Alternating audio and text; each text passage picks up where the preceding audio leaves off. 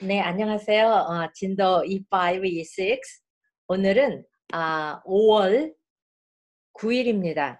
5월 9일.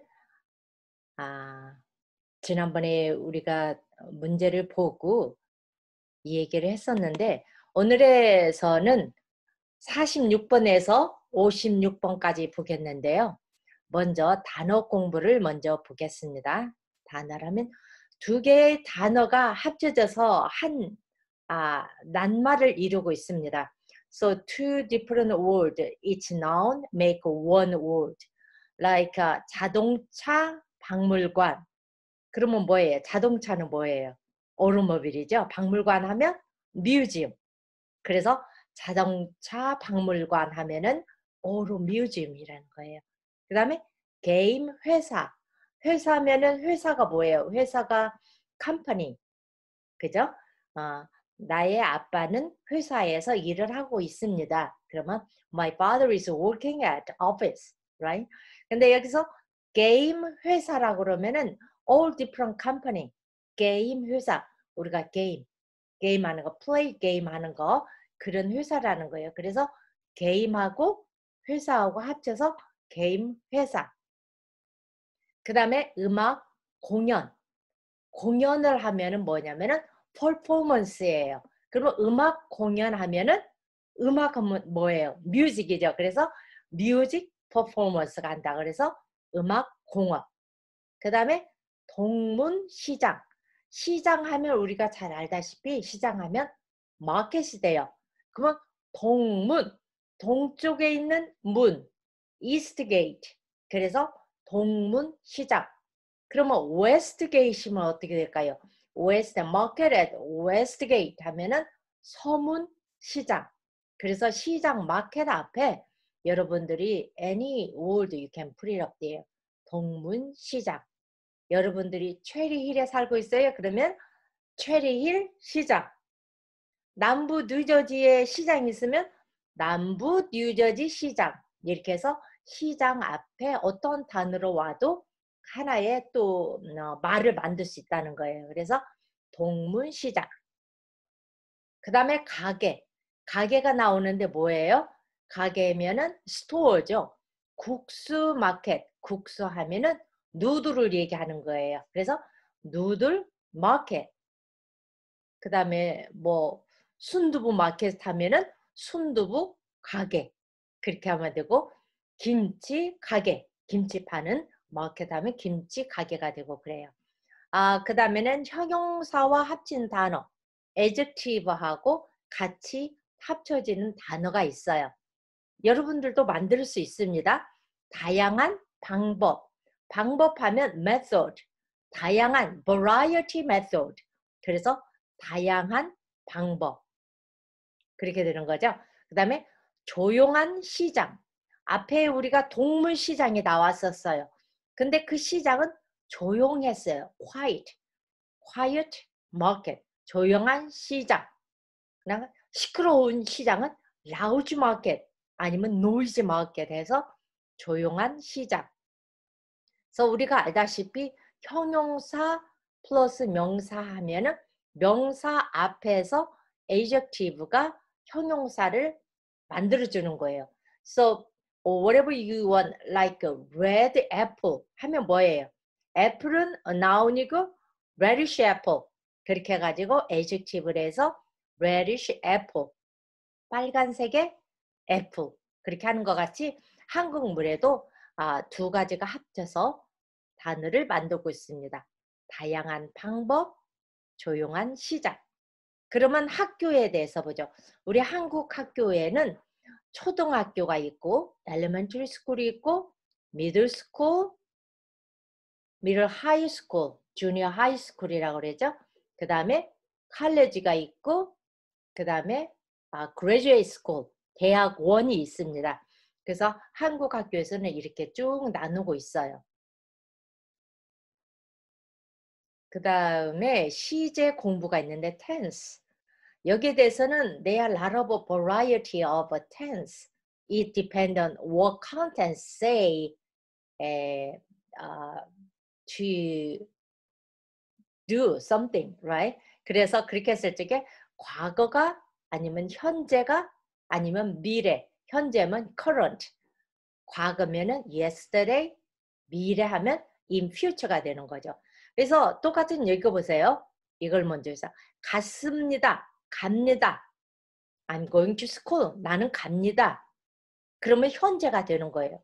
그러면 갔습니다. 하면은 I went to school. 그러지만 갔습니다. 더블 숏해서 대체적으로 보면은 과거가 되는데 어떤 거는 이렇게 보면 더블 숏이 있어요. 근데 앞에 contents에 의해서 다시 가겠습니다. 하면 어떻게 되겠어요? I will again. I'll be there again. I'll go back again. 그렇게 해서 future에 가는 거예요. 그래서 더블 숏이지만은 이거는 미래, in future에 대해서 말하는 거고 갔습니다는 과거가 되는 거고 어, another way of uh, 갔었습니다. 갔었습니다는 뭐예요? 아, 이거는 아, 갔었습니다. I done already. like uh, 갔었습니다 하면은 어, 과거가 되는 거예요. 과거가 이렇게 돼서 갔었습니다. 갔습니다. 갔었습니다. Uh, depend on context, you can say that 갔습니다. 아니면 갔었습니다.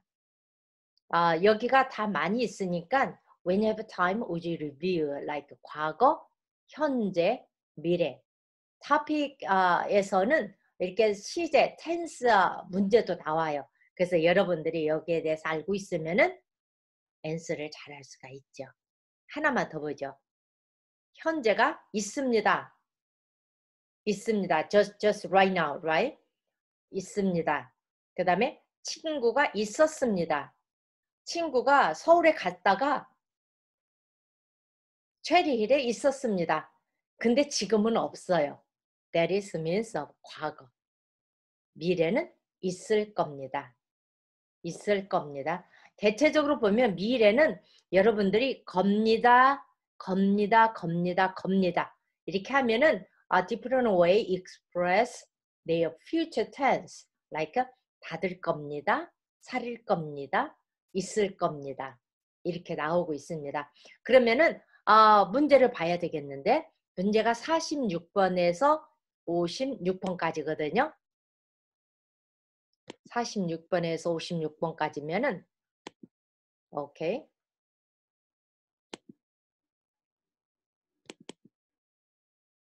(46번) 이거 나오네요. 오늘 자동차 박물관에 갔습니다. 선생님 읽을 적에 잘 보세요. 박물관이 작고 자동차도 많지 않았습니다. 재미가 없어서 일찍 나왔습니다. 여기는 뭐냐면 다음을 읽고 중심 생각을 고르십시오. When you read this one, just um, you have make sense, right? There is a main thought. You can choose one of four. 박물관에 다시 가겠습니다. 다시 가겠습니다. I will go to museum. 그게 아니죠. 오늘 자동차 박물관에 갔습니다. I'm done already. 갔습니다. 그래서 이건이 아니고 박물관이 더 컸으면 좋겠습니다. 여기 뭐라고 했어요? 박물관이 작고 작았다고 그랬는데 여기는 더 컸으면 좋겠습니다. 어. 이걸 조금 생각해 봐야 되겠네요. 넘버 2는 박물관이 작고 자동차도 많지 않았습니다. 재미가 없어서 일찍 나왔습니다. 아, 왜 일찍 나왔냐면 박물관이 작고 자동차도 많이 있지 않았어요. We think about automobile museum. There are a lot of car and space is pretty enough to see all the cars. But this automobile museum was so tiny, right? 그래서 일치고 왔습니다. 그래서 박물관이 더 컸으면 좋겠습니다. Maybe someone is wish that is more bigger, uh, like uh, automobile museum. 그러면 박물관이 마음에 들지 않았습니다. 어. 많이 재미가 없어서 일찍 나왔습니다. 박물관이 마음에 들지 않았대요. 그럴 수도 있겠죠? 그 다음에 박물관에 자동차가 너무 적었습니다. 이것도 맞겠죠? 박물관에 자동차가 너무 적었습니다. 여기 중심 생각은 뭐냐면은 2번하고 3번은 그 사람들이 박물관에 더 컸으면 좋겠던가 마음에 들지 않았다는 것을 얘기하는 거예요. 그렇지만 여기에서는 여러분 한번 생각을 해보세요. 1, 2, 3, 4번 해가지고 어떤 게 메인 thought인지 한번 생각을 해보시면 좋겠습니다. 그래서 여기 답은 아직 선생님이 얘기 안 할게요. 오케이? 그러면은 47번, 47번 보죠. 한 번만 읽어보겠습니다. 저는 한복을 한 번 입어보고 싶었습니다. 그래서 이번 방학에 한국에 가면 한복을 입어볼 겁니다. 한복을 입고 사진도 찍을 겁니다. Okay, you can see it. Uh, someone went to 한복을 입어보고 싶습니다. 방학에 한국 가면 I will. 그래서 if I have a chance go to Korea, I'm gonna try 한복, right? 한복을 입고 사진도 찍을 겁니다. That, that is a main, uh, main thought. So this one is you can choose one of four. 1번 방학에 한국에 가고 싶습니다. 한복을 자주 입으면 좋겠습니다. 여러 한복 사진을 찍고 싶습니다. 한국에서 한복을 입어 보려고 합니다. 한국에서 한복을 입어 보려고 합니다. 어, 대체적으로 보면은 이거는 포인트가 3점이에요. 어, the other one is only 2 point. This one is 3 point. 40 through 48. So that means kind of hard. What author uh, they want to see the right answer. 여러분들이 한번 해보세요. 오늘은 46번에서 몇 번까지라고 그랬어요? 56번까지인데 어, 선생님이 다 같이는 하지 못하겠고 어, 여러분 선생님 거 어, telephone number 알죠? 거기에 텍스 메시지를 해서 46번에서 56번까지 answer가 무엇인지 선생님한테 알려주세요. So why don't you go through yourself 46 through 56 and then you can make an answer and you send me by my text message 505 331 9660. 오케이? 그러면 오늘은 여기서 끝나기로 합니다. 네, 바이바이.